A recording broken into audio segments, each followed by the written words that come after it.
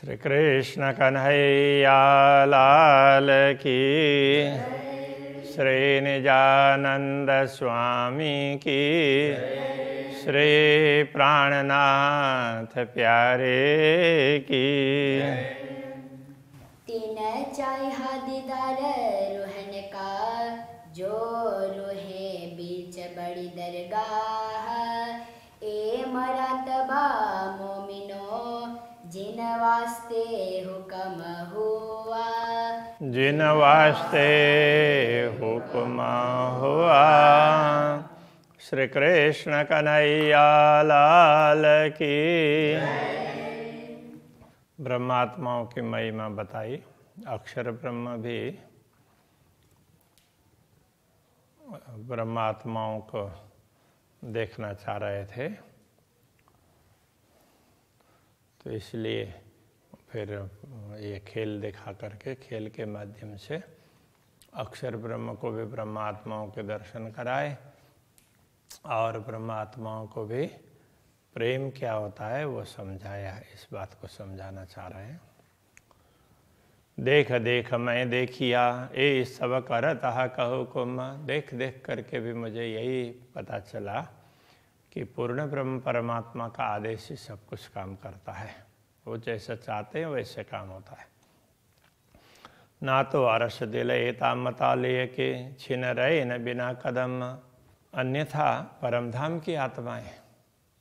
परमधाम का इतना कुछ ज्ञान लेकर के भी, ज्ञान प्राप्त करने के बाद में भी उस शरीर में बैठे रहें, ये तो संभव ही नहीं है। ये तो शरीर राज्य के आदेश के कारण ऐसा रहा है। वो तो एक क्षण भी उन कदमों में पहुँचे बिना नहीं रह सकते। हके अरस लिखा, मेरा, मेरे दिल को क्यों रहे? रूह सुन सुकन जब पूर्ण ब्रह्म परमात्मा ने मेरे दिल को परमधाम कह दिया तो फिर ये आत्मा, ये बात सुन करके इस शरीर में कैसे टिकी है? तो सीधा इसको छोड़ करके उसको चले जाना चाहिए। एक कदम ना रहे बिना कदम, पर रुए ठौर बैठा हक कई जन वैसे तो श्री राज्य के कदम चरणों के बिना ये आत्मा एक क्षण के लिए भी नहीं रह सकती, एक श्वास भी नहीं ले सकती। किंतु पर रूहों ठौर बैठा हकई जन। तो आत्मा के रूप में श्री राज्य का आदेश ही बैठा है आत्मा के स्थान पर। तो वही आदेश ये सारा कार्य करवा रहा है। हुक्म कहे, सो हुक्म अरस बानी बोले हुक्म। तो श्री राज्य के आदेश से ही तो ये वो ब्रह्मात्माओं के द्वारा कुछ बातें निकलती है। तो ब्रह्मात्माएँ भी उनके आदेश के स्वरूप में ही हैं।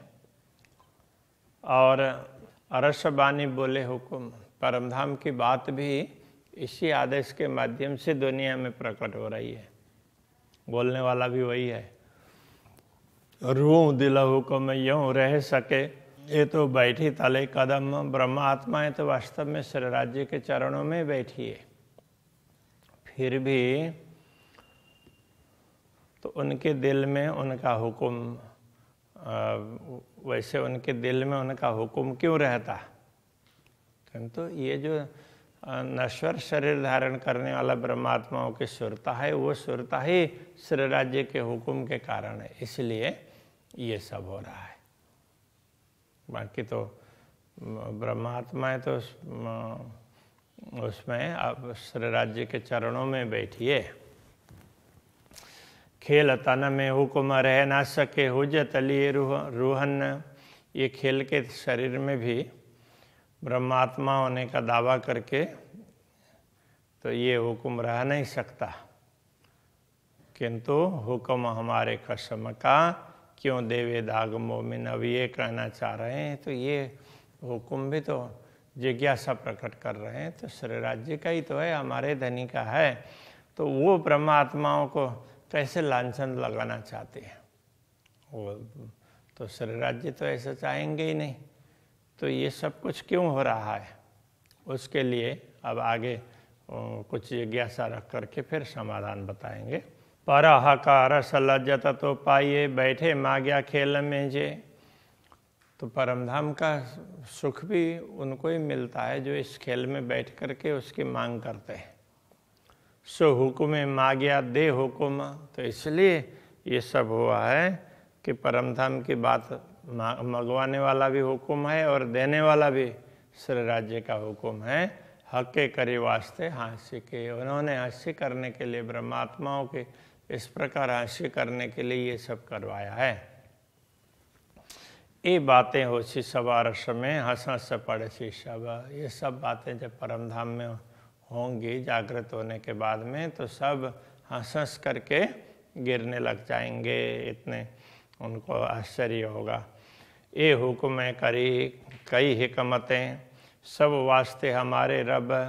तो हमारे धाम धनी के कारण इस हुक्म ने कई प्रकार के ऐसे कार्य किए हैं, कई चमत्कार ऐसे किए हैं। हम भी उन चमत्कारों को बाद में जैसे ही हमें समझ में आएँगे तो उस समय हमें बड़ा अच्छा लगेगा कि अरे, राज्य ने तो हमारे लिए ये सब करवाया, सारा काम तो उन्होंने किया। हम तो कहीं गए भी नहीं थे, आए भी नहीं थे, और सारा का सारा हमारा नाम ले करके हमारा ये रूप बना दिया और हमें लगा कि हम ही हैं। ऐसा ये सारा कार्य श्री राज्य ने ही अपने आदेश से करवाया है। हक मुख हुक्म देखा ही, हुक्म देखावे खेल। तो खेल में बैठ करके श्री राज्य के दर्शन करवाता है, वो भी उनका हुक्म है और खेल दिखाता है, वो भी उनका ही आदेश है। हुक्म देवे सुख लुदनी वही तारतम ज्ञान का सुख भी वही प्रदान कर रहा है। हुक्म करावे इसका केला तो अक्षरातीत धामदनी से मिलन का अनुभव करवा करके तो वो प्रेम एक, वो प्रेम में मस्त मस्त भी ये हुक्म भी करवाता है। हुक्म जोश गलवा करे, हुक्म ज़ोर ज़ोर बड़े इश्क, इसी आदेश के द्वारा जोश भी, जोश को भी गलवा कर देते हैं। मतलब जोश को भी एक प्रकार से आंदोलित कर देते हैं, जोश को बढ़ा देते हैं। तो इस तरह से। हुक्म ज़ोर बढ़े इसका तो इसी हुक्म के कारण ही प्रेम का ज़ोर बढ़ता है। प्रेम में भी शक्ति आ जाती है। हुक्म इल्म रखे सुख को तो इसी हुक्म के कारण ये प्रेम रस का आस्वादन करवाने के लिए ज्ञान की भी, ज्ञान को भी रखते हैं। हुक्म प्याले पिलावे माफक, और यही हुक्म है, ये प्रेम के प्याले पिला रहा है, जिसको जैसे चाहिए उनके क्षमता के अनुरूप। हुक्म बेहोश ना करे, हुक्म जरा जरा दे दे लज्जत तो ये राज्य का आदेश ही ऐसा है कि ये किसी को मूर्छित भी नहीं करता है और थोड़ा थोड़ा उसका स्वाद चखाता है। तो थोड़ा थोड़ा थोड़ा थोड़ा स्वाद लेते हैं तो कोई एकदम मूर्छित नहीं होते हैं। हुक्म पनाह करे सब रूहन तो ये हुक्म ही ब्रह्मात्माओं की रक्षा करता है। सब ब्रह्मात्माओं के राज्य के चरणों में रख करके, उनसे जोड़ करके हुक्म में जानी जात निश्वत इसी हुक्म के द्वारा ही सब कुछ पता चलता है कि हम ब्रह्मात्मा हैं, श्री राज्य के अंग रूपा हैं। ये सब जानकारी भी यही करवाता है। प्याला हुक्म पिला वही करे हुक्म रखो पाता है तो प्रेम का प्याला, वो भी हुक्म ही करवा, दिलाता है। और तो प्रेम का प्याला पी करके ब्रह्मात्माएँ एकदम उसमें मस्त हो जाएँ, बेहोश हो जाएँ और वो प्याला गिर जाए तो वो भी होने नहीं देता है। तो वो भी टिका करके रखता है। तो करे हुक्म, रखो पाता है, उनकी रक्षा भी वही करता है। ना तो इन प्याले की बोए से तभी अरवा उड़ जाए, अन्यथा इन प्यालों में तो इतनी क्षमता है, इनकी सुगंध मात्र से ही आत्मा शरीर को छोड़कर जा सकती है। इनको पान करने की बात तो दूर रही। ये प्याला कबों किन ना पिया, हम रूहे आइया तीन बेर, इस प्याले को कभी किसी ने नहीं पिया। और हम ब्रह्मात्माएँ भी तीन बार इस जगत में आई हैं। ये प्याले पहले तो पिए जो हम थे बीच अंधेरा। तो अब, अभी जो हमें आस्वादन प्रेम का पान तो किया, किंतु अभी जो स्वाद उसका चखा रहे हैं ना, उसका स्वाद पता चला रहे हैं। तो ये ऐसा है, ये तो उस समय तो वो भी नहीं पिया था। ये कह रहे हैं, ये प्याले पहले तो पिए प्याले पहले हम आए थे तब, उस समय तब भी पी लेते। लेकिन जो हम थे बीच अंधेरा, उस समय तो हम अंधेरे में थे। अंधेरे में का तात्पर्य हमें पता नहीं था। स्वार्थम ज्ञान उस समय प्राप्त नहीं था, इसलिए हमने पान तो किया, किंतु उसका स्वाद नहीं लिया। ये प्याले पिए जाए क्यों जागते तन तब ही जाए चिराए तो अब जागृत करने के बाद में तो ये प्रेम के प्याले पिए ही नहीं जा सकते पीते ही शरीर फटने लग जाता तो मतलब शरीर छूट ही जाता शरीर में तो रह ही नहीं सकते ये कहना चाह रहे हैं बोए भी ना सह सके तो प्याला क्यों पिया जाए जब सुगंध को ही सहन नहीं कर सकते तो प्याला कैसे पी सकते हैं हुक्म जो प्याला दे वही सो संजमे संजमे पिला है।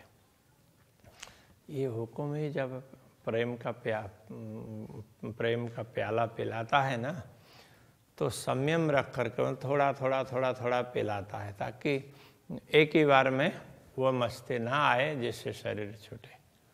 तो इस तरह से शरीर टिकाए रखता है। पूरी मस्ती ना हुक्म दे वही ये हुक्म ही पूरी मस्ती होने नहीं देता है। जाने जिन कांच शीशा फट जाए, उसको ये लगता है कि अगर ऐसा होने देंगे तो ये तो कांच का उसकी तरह से तो ये कांच के बर्तन की तरह से वो गिर जाएगा तो टूट ही जाएगा, ना तो इस तरह से ये शरीर भी तुरंत छूट जाएगा, ऐसा सोच करके इसको संयमित रूप से धीरे धीरे धीरे धीरे करके आस्वादन करवाता है। ना तो ये प्याला पिए के एक कच्चा वजूद न रखा कि न। यदि ये प्याला पी लेते, प्रेम का प्याला तो ये कच्चे शरीर को कोई रख रख ही नहीं पाते। वो तो छोड़ ही देते।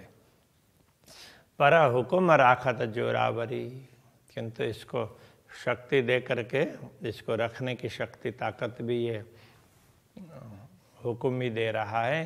प्याला पिलावे रखे जतन और तो प्याला भी पिला रहा है और इस, इसको यत्न पूर्वक रख भी रहा है। हुक्म मेहरबारी की यहाँ ये मैं कहूँ विद किन? श्री राज्य के आदेश की कृपा तो बहुत बड़ी है उसको मैं कैसे बताऊँ? ये हम नज़र हमारी एक विद की पर सब विद सुदना रोहन तो हमारी दृष्टि तो एक तरफा की है, कहने का तात्पर्य तो हम तो मात्र श्री राज्य के प्रेम को ही समझते हैं। तो सौ वेद सुदन आरोहन ब्रह्मात्माओं को सब प्रकार की शुद्धि तो हो ही नहीं सकते, क्योंकि वो तो प्रेम में मस्त रहने वाली है।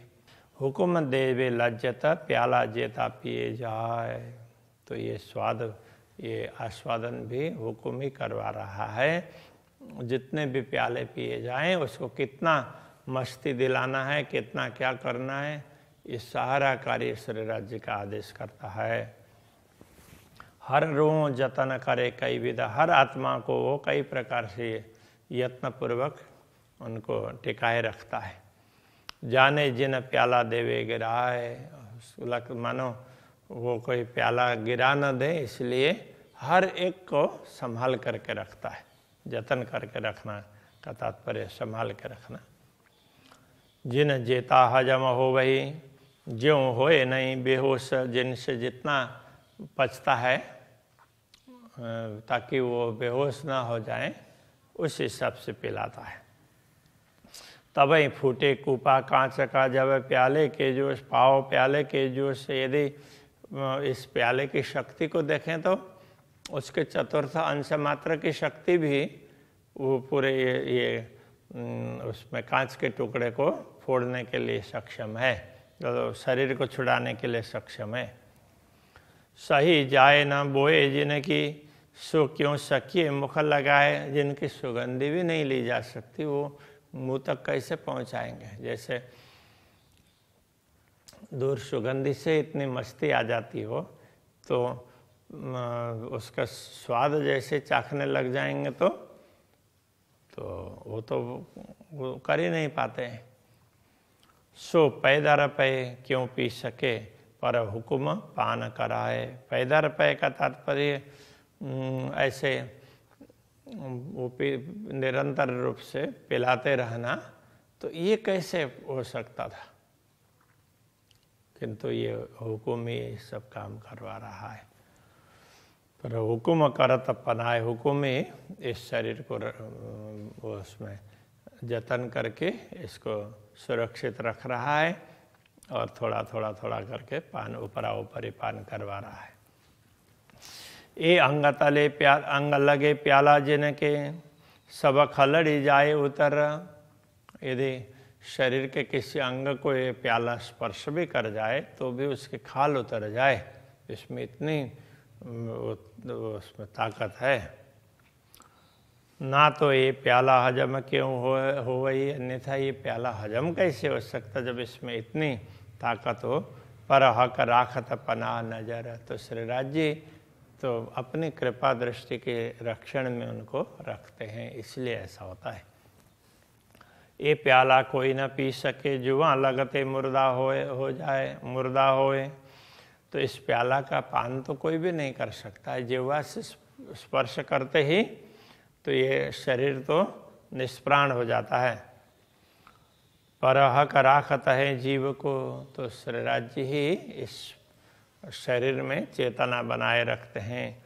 ना तो या के खेच काड़े खुशबोए, अन्यथा मात्र सुगंध भी तो इसमें से चेतना को निकाल सकती है, खींच करके बाहर निकाल सकती है।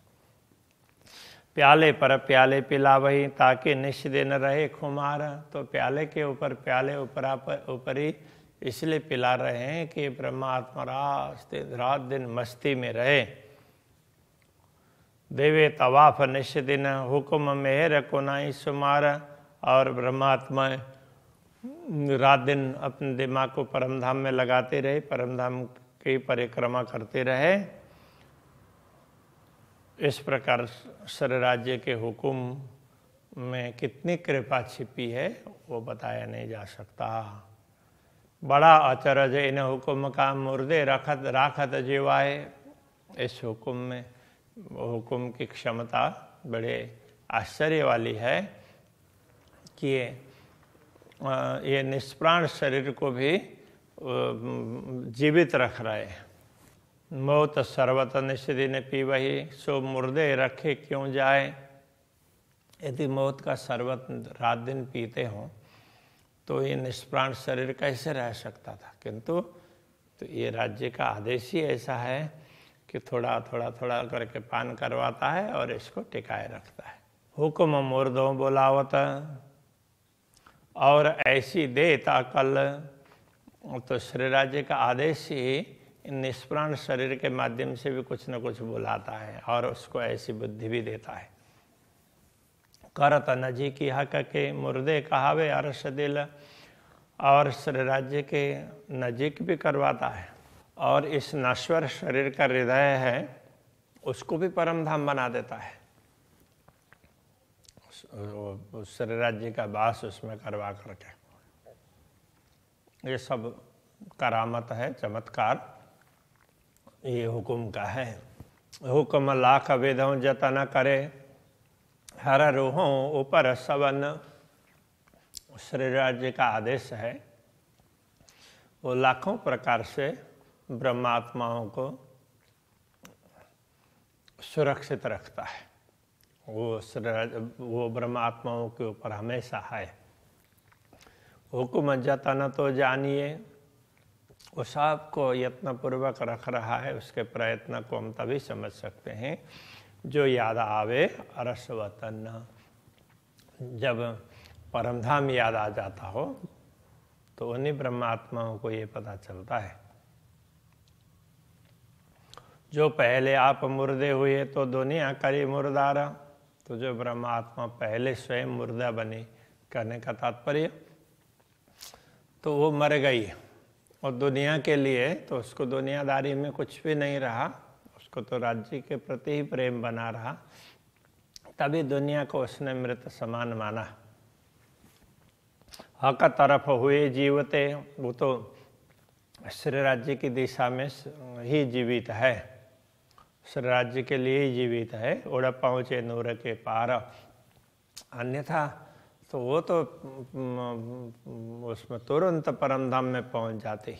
अक्षरधाम को भी पार करके तो यह दुनिया में हूँ ऐसा उसको होता ही नहीं। दुनिया इसका न ईमान क्यों उड़ा जाए बिना पर? तो दुनिया के पास में तो न प्रेम है और न ही विश्वास है, श्रद्धा है। तो ये तो पंख है, इसलिए इन पंखों के बिना उड़ा ही नहीं जाता। तो दुनी कई जीवी नाश्वती रूहें आसमानी जानवर। तो दुनिया को इस नश्वर जगत के प्राणी ऐसा कह दिया, और ब्रह्मात्माओं को ये तो आकाश के पक्षी है, कहीं भी उड़कर कहीं भी जा सकते इस तरह से कह दिया है। ये कुछ ग्रंथों में ऐसा कहा होगा। ये दुनिया जो खेल की, छोड़ सुरैया आगे ना चलता। तो ये दुनिया इस खेल में है, ये खेल के लिए बनाई हुई दुनिया है। वो शून्य शून्य निराकार ज्योति स्वरूप उनको छोड़ करके आगे नहीं जा सकती। सो कायम फना क्या जान ही, जाकी पैदाइश सही जुलमत। जिनकी उत्पत्ति ही भ्रम से है तो वो अखंड क्या है और नश्वर क्या है, उसको कैसे समझ सकती है? महामत कहे, ए मोमिनो बका हासिल अरस रूहन। महामती कहते हैं ब्रह्मात्माओं, परमधाम की आत्माओं को ही ये अखंड बातें, अखंड धाम, पूर्ण ब्रह्म परमात्मा वो प्राप्त हैं, उनके लिए उपलब्ध हैं।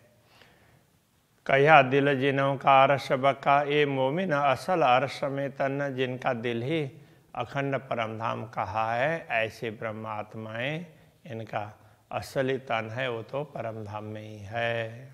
तो ये बात समझना बहुत आवश्यक है। श्री कृष्ण कन्हैया लाल की जय।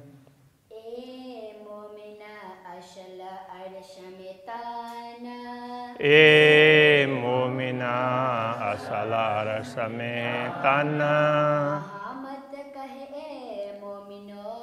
මහාමත කයි ඒ මොමිනෝ බකා අශිලා රසරුහන්න කයාදින ජිනෝකාරශබකා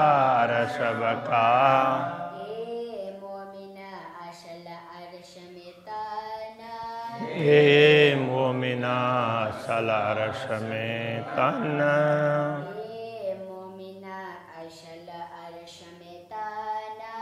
ए मोमिना सलारस में तन कृष्ण कन्हैया लाल के